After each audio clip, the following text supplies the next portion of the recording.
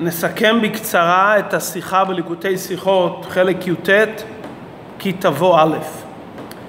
השיחה מדברת בנוגע לפסוק בפרשתנו, פרק כ"ו, פסוק ט"ז: היום הזה השם אלוקיך מצווך לעשות את החוקים האלה ואת המשפטים, ושמרת ועשית אותם בכל לבבך ובכל נפשך.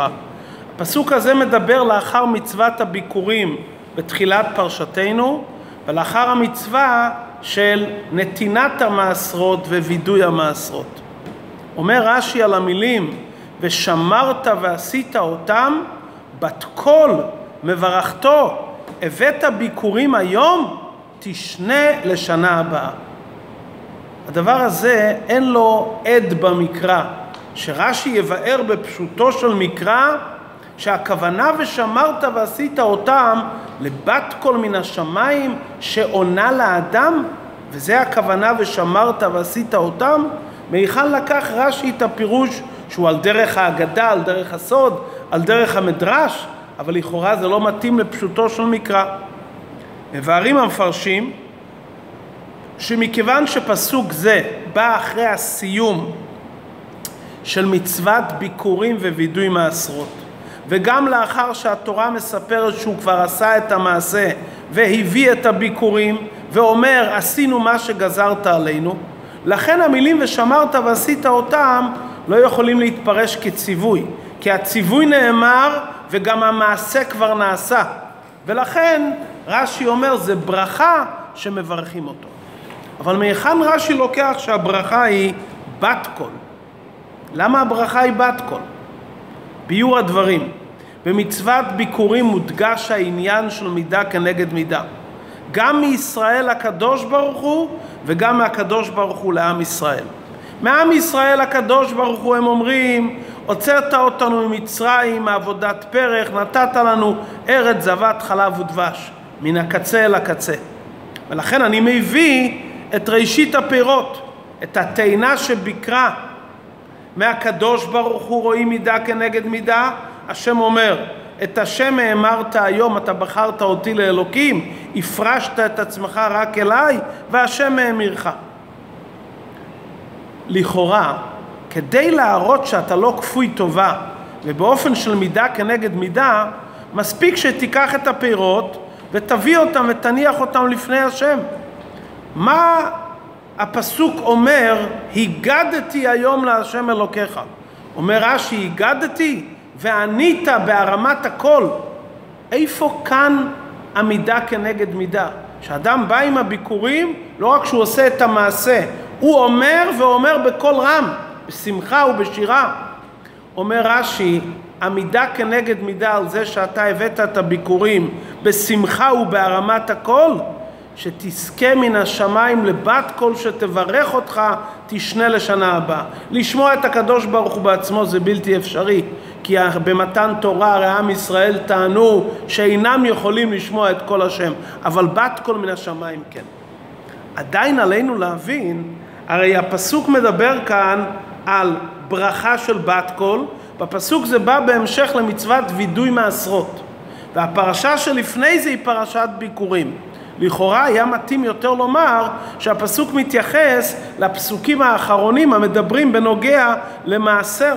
מדוע רש"י אומר שכוונת הדברים לפרשה שלפני זה, כלומר לתחילת פרשתנו, פרשת ביקורים ולא לפרשת וידוי מעשרות, הסמוכה למילים ושמרת ועשית אותם. הסברת הדברים פשוטה. הרי הפסוק אומר ושמרת ועשית אותם.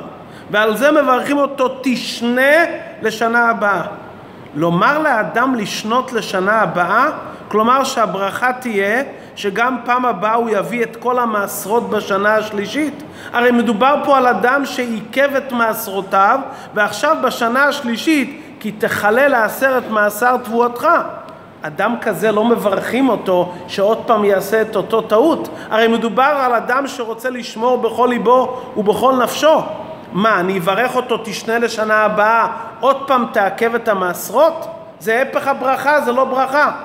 לכן רש"י אומר שכוונת הדברים למצוות ביקורים הנאמרה בתחילת פרשתנו ולא למצוות וידוי מעשרות. והדברים יומתקו בדיוק שהפסוק מסיים בברכה השקיפה, שמסתיים במילים השקיפה ממעון קודשך, האדמה אשר נתת לנו ארץ זבת חלב ודבש. חלב הכוונה חלב עיזים ודבש תמרים. אי אפשר לומר שהכוונה כאן על מעשרות.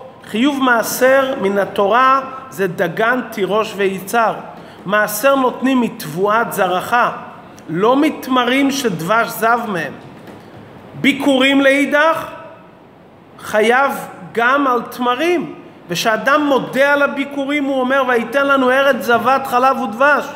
הוא אומר שהוא לא כפוי טובה והוא אומר הנה נתת לנו ארץ משובחת ואני מביא מפירות שמביאים ביקורים.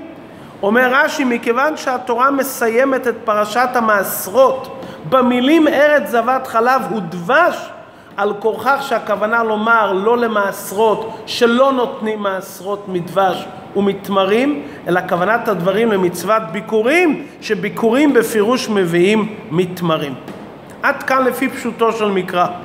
לפי פנימיות העניין, העניין יובן ביתר שאת. אדמו"ר הזקן כותב שהמילים ודבש מהפסוק האחרון, היום הזה, ראשי תיבות השם, הוויה. זה המקרא מחובר לפרשה שמלפניו. כלומר, בדרך הפשט חיברנו את המילה ודבש להבנת העניין שמדובר פה על ביקורים ולא על מעשרות. גם על פי חסידות, ודבש היום הזה השם, ראשי תיבות השם.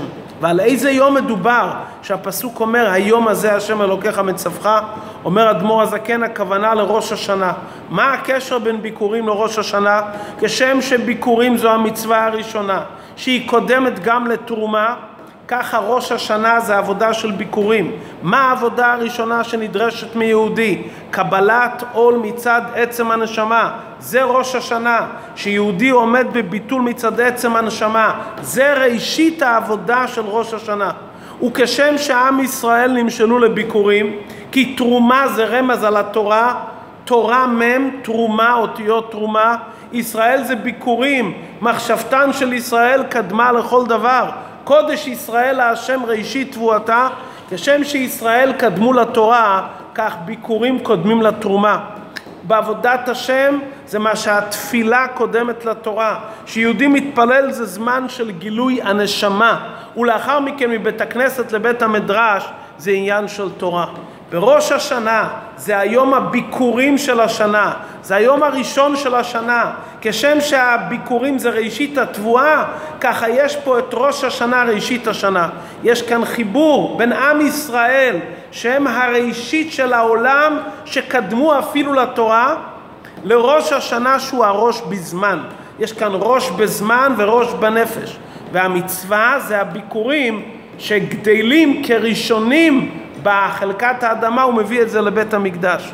בראש השנה השם מגלה את הבחירה שהוא בחר בעם ישראל. יבחר לנו את נחלתנו. אתה וחרתנו מכל העמים. זו בחירה מהמקום הראשוני ביותר, מעצמותו ומהותו, שהוא בבחירה חופשית בחר בנו. בעם ישראל שהם הבכור, יעקב הוא הבכור, והבחירה היא דווקא בנו, למרות שהכל שווה לגביו, הבחירה מהמקום הכי גבוה והכי ראשוני בעם ישראל בעצמו.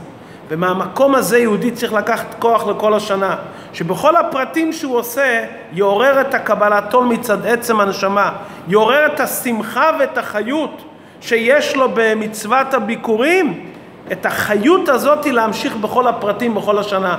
בכל יום יהיו בעיניך כחדשים. גם הפרטים של כל המצוות כולם, צריך שיאיר בהם הביקורים. לכן ממצוות הביקורים דווקא לומדים את הנקודה של בכל יום יהיו בעיניך כחדשים.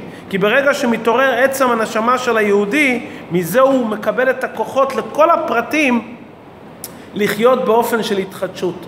ולכן הברכה הזאת היא לא סתירה לעניין של בחירה חופשית. מברכים אותו באופן ודאי תשנה לשנה הבאה, מכיוון שמדובר פה על גילוי עצם הנשמה. ברגע שיש גילוי עצם הנשמה, ודאי שאדם יבחר בחיים. כל הבחירה הרגילה זה בתודעה של השכל. כאן מדובר על מצווה שקשורה עם עצם הנשמה, ועל יום שמאיר עצם הנשמה, ראש השנה, קבלת עול של היום הזה, של עצם הנשמה, זה מאיר באופן פשוט אצל כל יהודי. וגם בפשטות זה משתלשל בעולם הזה, שאדם מרגיש חובה לא להיות כפוי טובה. בטבע של האדם, שהשם נותן לו ברכה, הוא רוצה להודות. לכן ברור, בת קול מברכת אותו ואומרת לו, אין ספק, תשנה לשנה הבאה. גילוי עצם הנשמה והרצון לא להיות כפוי טובה, יהיה אצלך באופן טבעי. ואת כל זה עושים עם פירות גשמיים. פירות משובחים שלא שורפים אותם על גבי המזבח, מביאים לכהן גשמי שיאכל את זה. מדובר פה על דרגה כל כך גבוהה, שורש עצם הנשמה זה מאיר אפילו למטה-מטה באכילה של דבר גשמי. היות ומדובר על דרגה כל כך גבוהה, היא יכולה לרדת אפילו למקום גשמי בגשמיות. כשם שהאדם מביא את זה בשמחה, הקדוש ברוך הוא אומר לו מידה כנגד מידה, תזכה לשנה הבאה שיגדל אצלך פירות טובים. כשאדם ניגש לראש השנה באופן כזה שהוא מעורר את עצם הנשמה, את הקבלת עול, הוא זוכה שמן השמיים ימשיכו לו את אותו ביקורים שהוא בא בראש השנה עם אותו קבלת עול שמצד עצם הנשמה השם נותן לו כתיבה וחתימה טובה לשנה טובה ומתוקה בעניינים הרוחניים ובעניינים הגשמיים בבונה חיו ומזוינה רוויכם.